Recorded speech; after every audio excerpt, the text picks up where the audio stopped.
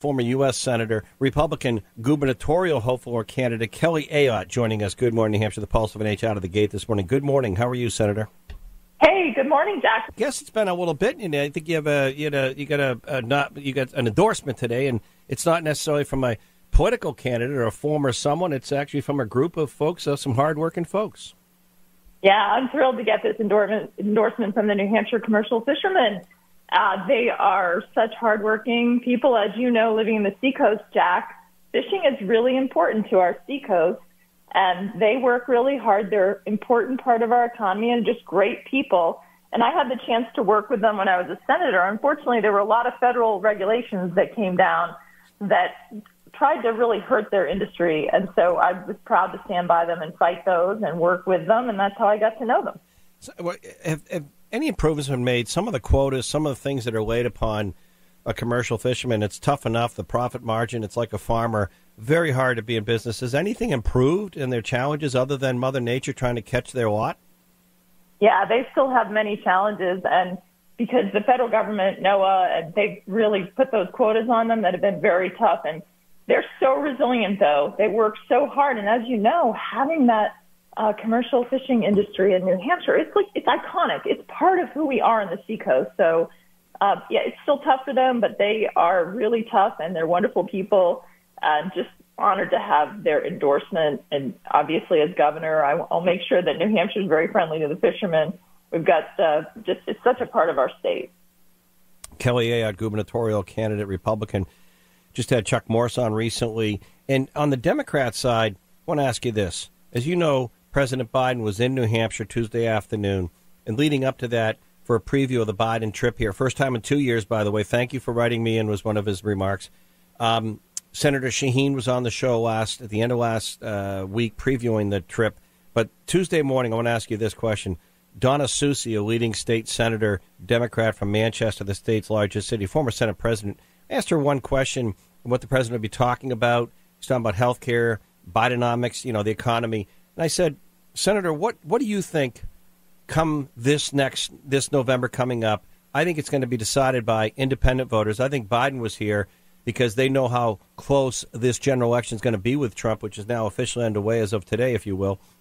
And New Hampshire could matter with the four electoral, electoral college votes. And I said, Senator, what do you believe in November in New Hampshire with independent voters as well as Republican Democrat, but independents? What are the two top issues and she said the economy, you know, kitchen table uh, type economics, and abortion rights. Did not mention the border or immigration. And I asked her why that was, and does she think Republicans are making it more of an issue than it is with voters? Let me ask you: What are the two top issues as you run for governor?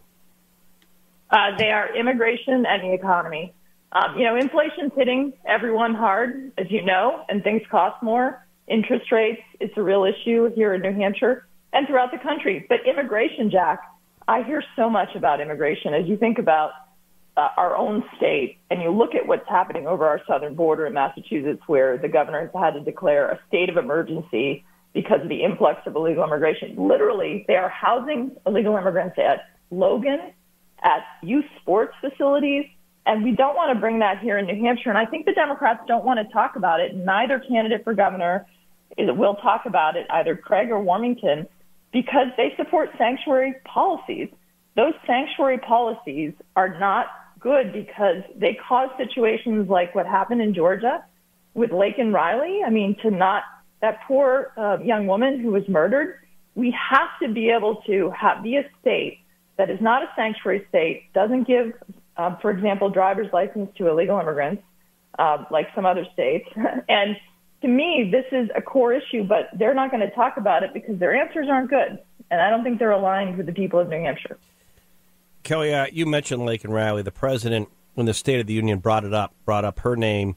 Uh, and I've talked extensively on the show about this particular crime because I think, on sadly, there there are other murders and attacks on women and children happening almost every day. It's sad, but this one really caught the eye of many people, and I think yeah. it should have. I think it should have for a lot of reasons.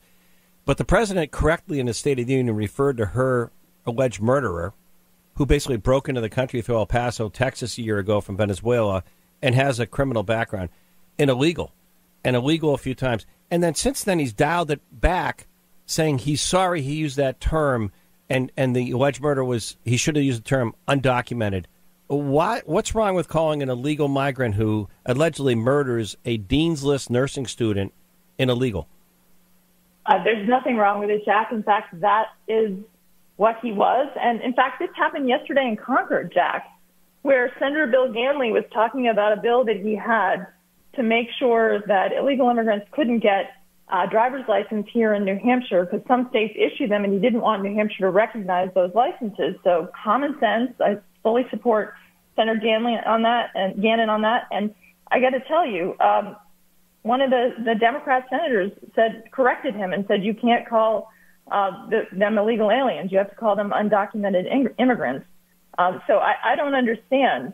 Uh, this is a violation of our law. It's illegal, and they're aliens. They're not supposed to be here, or illegal immigrants are really not supposed to be here. So I don't understand this sort of nomenclature. Mm-hmm. And let me just say, you know, Laken Riley, so tragic and so preventable and what we see is Venezuela, you know, there's been reports that Venezuela is essentially releasing prisoners mm-hmm. um, and mm-hmm. allowing them to come to our border, like releasing them from their prisons. Mm-hmm. So uh, this is one of the issues that we're facing with, you know, President Biden just not enforcing our laws and allowing the disaster that we see at our southern border, and also we having this issue at our northern border, unfortunately, too. You know, uh, when when I asked Senator Soucy just the big issues and abortion rights was there, and and you know President Biden in New Hampshire on Tuesday, part of what he talked about, and you heard it in the State of the Union. So you already know going into this gubernatorial election, should you be the nominee? I mean, you and Chuck Morse, the main Republicans, there's other people running, and of course, Cinde Warmington, Joyce Craig. You know it, you've seen it. There'll be millions, tens of millions of dollars in the governor's race, in my prediction in New Hampshire, on abortion right ads. And any Republican running, doesn't matter who they are, in my mm. humble opinion, the ad's going to say that you favor an abortion ban how are you going to pre? Mm. How are you going to respond with all that money spent on that issue? Not on immigration, not on the border, maybe not on inflation, abortion rights, AR backs, you know, the Sununu abortion ban. How do you respond? Yeah, Jack, they have been misrepresenting this issue, and it's actually a dangerous misrepresentation because we don't have an abortion ban here in New Hampshire. I support the current law. That was the, the law that Governor Sununu signed mm-hmm. uh, into law in New Hampshire, and that allows women in New Hampshire to obtain an abortion up to six months of pregnancy for any reason.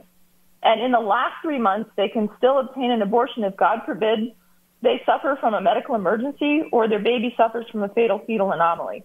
And so they are misrepresenting what our law is. They're misrepresenting the position of Republicans. And so I, I plan to tell the truth mm-hmm. in this election. And I think it's important that we do that because they're, they're trying to scare women. And you know, I think it's important that we make sure that women understand we support women's health, um, that I support the current law and I'm not going to change it. Right. So they can say lots of things to misrepresent my position or other Republicans' position, but it's important that we tell the people of this state what is the law and what their rights are. Finally, Donald Trump, Joe Biden, here we go again, round two, pretty much clinching mm-hmm. the nominations for each major party today uh, yesterday, actually. So here we go. No big surprise, by the way. It's amazing, but it's no big surprise. You came out recently and endorsed Donald Trump, and your challenger, your main challenger, I believe, on the Republican side, Chuck Morse, did it back during the New Hampshire presidential primary. Do you believe Donald Trump's going to be successful, and can he win a general election against Joe Biden with independent voters? Uh, yes, I do, because um, these issues that are out there, if you look at where we are, uh, things are less affordable. They cost more uh, than he, when he was in office. You know, the border is a mess. Um, p- people feel less safer because of that. And so people are just going to compare where were we and where are we now. Mm-hmm. Um, so I think that is a big comparison. And, you know, obviously uh, the choices come down in this election. But also, I want to bring it back to the governor's race. There's an important choice in this race, in the governor's race, because both of the women that are running on the Democratic end they're going to make our state like Massachusetts.